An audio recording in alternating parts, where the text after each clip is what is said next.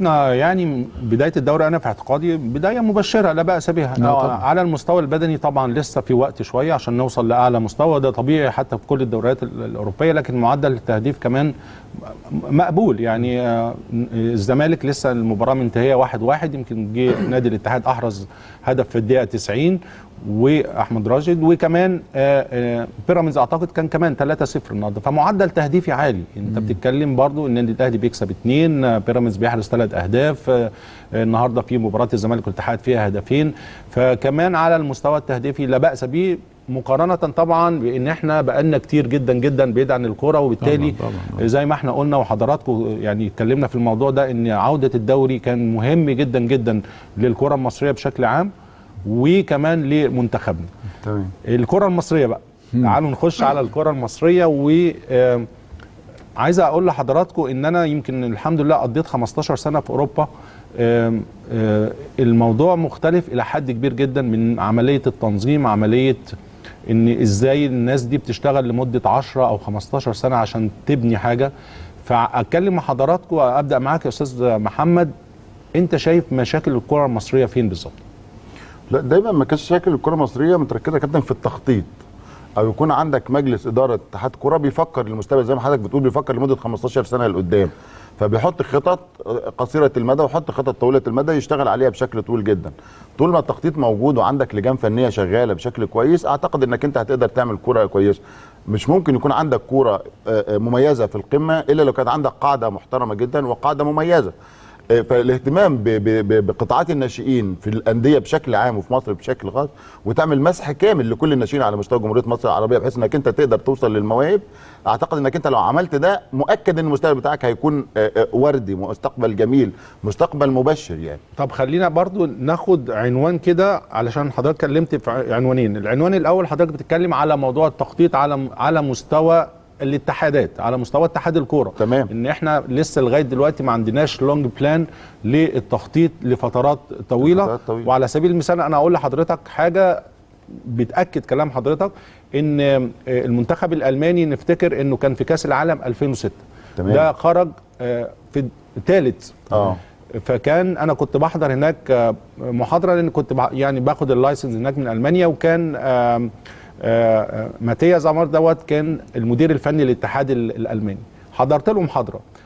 أول حاجة قالها طبعا إحنا مش راضيين عن إن إحنا نبقى البطولة على أرضنا ونطلع ثالث وبدأ يشرح خطة من حضرتك بتتكلم من 2006 ل 2026 بدأ ي... ي...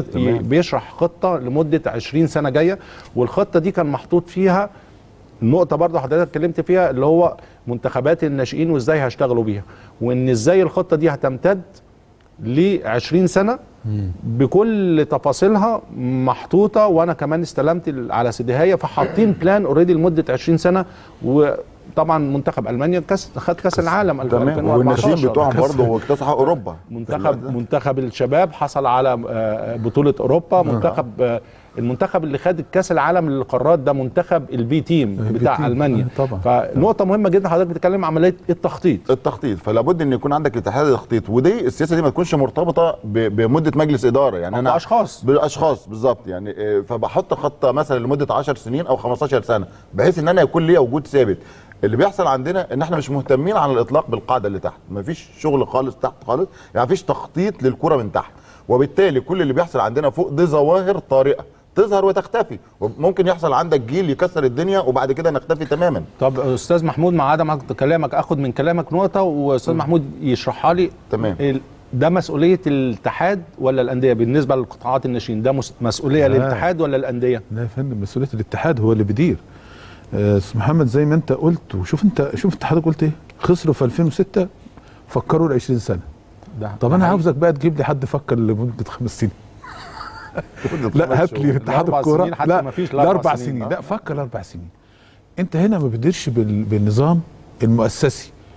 يعني إيه؟ ترس داير وأي حد بيدخل داخل الترس ده بيكمل المسؤولية. مش جاي يمحو ويشطب اللي عمله كابتن هاني في فترة وخططه لمستقبل. أنا جاي ما بحبش كابتن هاني. إيه ارمي يا عم الورق ده هات لنا ورق جديد يا جماعة. خلاص إحنا عملنا تجارب مرة الشروه الروماني ومرة الشروه اللي مش عارف مدربين. ومرة جبنا هولنديين ومرة جبنا بص عاوز أقول لك على حاجة. إذا ما كانش في إخلاص للبلد دي والهدف الأسمى والطموح إن أنا دلوقتي عندي كأس عالم 2022 خلاص دخلت أنت خلاص في التصفيات وانتهى المفروض يبقى من من الآن تفكير إزاي يبقى عندي أفكر على جيل من أدور على موهوبين يكونوا 20 26 على الأقل خلينا في القريبة. يعني ست لا، سنين. قولي لا، أنا لا بكلمك أهو. لمدة 10 خلينا سنين. نبدأ نتعلم الأول. نتكلم ل 10 ما أنا سنين، بقول إيه لك أهو. المشكلة؟ حضرتك أنا اسالك سؤال. هات لي مدير فني للاتحاد كتب تقرير جه مثلا انتهى الموسم الدوري. وقال يا جماعة والله إحنا لاحظنا يعني كتب ممكن يكون راجل كتب والتانيين ما خدوش بيه كتب والله يا جماعة إحنا للأسف خلال موسم الدوري اللي انتهى بتاع السنة اللي فاتت اكتشفنا إنه ما عندناش راس حربة. بدليل إنه الهداف فلان وفلان مدافع. مثلا. ده الكلام ده بقى له 10 سنين. ما أنا بقول لك أهو ما أنا بقول لك أديني أهو. أنا بكلم 10 سنين. من غير أجانب، مهاجم. أو أنا. بكلم أنا بكلمك أهو. أو حتى لو أنت جبت مدير فني طيب يا جماعة إحنا واكتشفنا إن إحنا ما قدمناش غير ست ناشئين وقدمتهم أندية إنبي وفلان وفلان لكن الانديه الكبيره ما قدمتش لأنه بتصارع على اللقب. يا جماعة عندنا مشاكل مثلا في آه، آه، النواحي الفنية. إحنا في الكرات العالية في مع شمال أفريقيا بتيجي فينا أهداف. إحنا يعني أقول آه، لحضرتك يعني إيه؟ تفصيلي تفصيلي. ريبورت خلاص تفصيلي وتيجي جيت أنت عملت مع المديرين الفنيين وقعدت تحلل وتناقش وتجيب الناس اللي أنت مسؤول عنها؟ أنت هنا بتطور شق اللعبه أنت بتبني شخصيتك. شخصيتك اللي واضحة بيقدمها من خلال مين؟ مدير بدليل إنه لما جابوا حتى الكابتن محمود الجوهر رحمة الله عليه مدير فني ما عرفش يعمل الموضوع بسبب الظروف والنظام الإداري الموجود. النظام الإداري اللي موجود يا كابتن هاني وأنت تعلم جيد وأنت اشتغلت وشفت بعينيك في مشكلة. في مشكلة في في, في, في يعني القاعده عملية التنظيم. آه، يعني الت- ناخد عملية آه، التخطيط كعنوان. كبير جدا. إحنا عندنا عملية التخطيط والتنظيم تنظيم. لمستقبل الكرة المصرية عندنا مشكلة مش فيها. موجود. وقطاع الناشئين إحنا بنتكلم في قطاع على مستوى على مستوى الأندية على مستوى لا. وكمان على مستوى ما أنا الاتحادات. بكلمك أهو. الاتحادات ال ال ال أنا عاوز أقول لك على حاجة. إمتى آخر مرة خدنا بطولة أفريقيا للناشئين أو للشباب؟ أعتقد، آخر مرة مع آه، الكابتن ربيع؟ مع كابتن ربيع ياسين. ده- كابتن ربيع وبعد قعد يعني شوف عمل إيه وفي الآخر كافئوه بال- باللي عملوه معاه يعني حتى يعني ما قدروش كمل ال- الجزئية الواقعة الشهيرة بتاعت الدكتور عمرو أبو المجد لما كان مش كان رئيس اللجنه الفنيه كان رئيس اللجنه الفنيه لما كان آه، ماسك اللجنه الفنيه ولما قدم رشح المدربين اللي هيقودوا المنتخبات. أيوة. آه، ودخل الاتحاد كل مشكلة واحد جاب إيه؟ هنتكلم عليها. كل. واحد جاب إيه؟ كل واحد جاب حبيبه. ده كل- دي مشكلة تانية هنتكلم عليها. لكن عايز أقول. لحضرتك عايز بالنسبة لقطاعات الناشئين في ألمانيا كان بتدار إزاي. طبعا على مستوى الأندية عندهم أكاديميات على أعلى مستوى ماشيين بنظام علمي وماشيين بشكل جيد جدا. طب الاتحاد بيعمل إيه؟ تخيل إن الاتحاد الألماني كان بيباشر آه، 75 ألف أكاديمية. آه. 75 ألف أكاديمية. شوف الرقم اللي بتكلم فيه. دي غير قطاع الناشئين؟ آه, آه. هقول لك آه، إزاي. مختلفة دي. دي القطاعات مثلا أنت عارف كل مقاطعة في ألمانيا ألمانيا كبيرة جدا مقاطعات كتيرة جدا. فهم بيسموا الأكاديمية حتى المدرسة. فيها آه، فيها ال- ال- السيشن الرياضي فيها صالة ألعاب موجودة. فعاملين آه، آه، ربط بكل دوت وصل ل 75000 يسموها 75000 أكاديمي على مستوى كل اللعبات. كرة القدم عندهم الولاد الصغيرين من سن اللي بيلعب في المدرسة من سن خمسة لسن 10 ل 15 حتى على مستوى المدارس.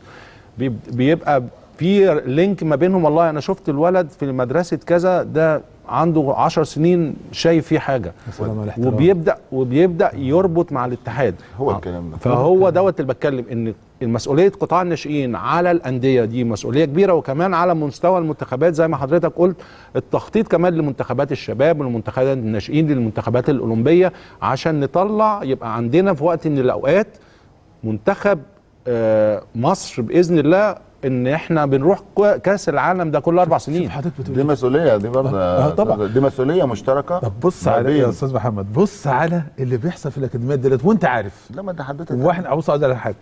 حجم الإدانة وقتل المواهب وعاوز أقول لك إيه؟ إهانة الأسر إن كل هم بعض الأكاديميات مش عاوز أقول بصفة عامة إنك أنت تاخد تاخد يعني تجمع تعمل مرتب شهري لنفسك. وتفرض على الأسرة أو على اللاعب إنه يدفع رقم وفي الآخر المحصله صفر. يعني إيه اللي بيستفيده ال الولد أو الناشئ اللي بيروح يتدرب؟ ده- ده- على أي ما فيش على فكره أنا لا أستثني أكتر من 10% والباقي كله أصبح سبوبة. وكمان الكارثة. وخلي بالك كمان هنا اتحاد هو- ده موضوع ملف ده الخاصة ده ده ملف تاني خالص. بقول لحضرتك أهو. بس أستاذ